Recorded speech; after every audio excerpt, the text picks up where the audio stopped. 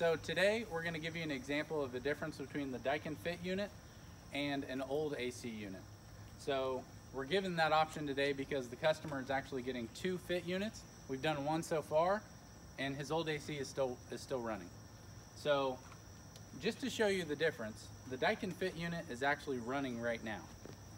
So the only way for you to tell this guy is running is for you to walk up to it and put your arm up against it to feel the air. That's the only way. It's so quiet.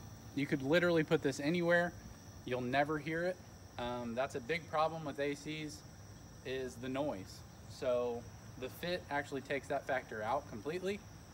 If your AC is in a bad spot, maybe by a window, it's bothering you, this would definitely be the route to go.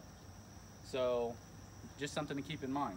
So we'll show you the difference with the old unit. So we're gonna go over and we're gonna put the disconnect back in and we'll show you the noise difference.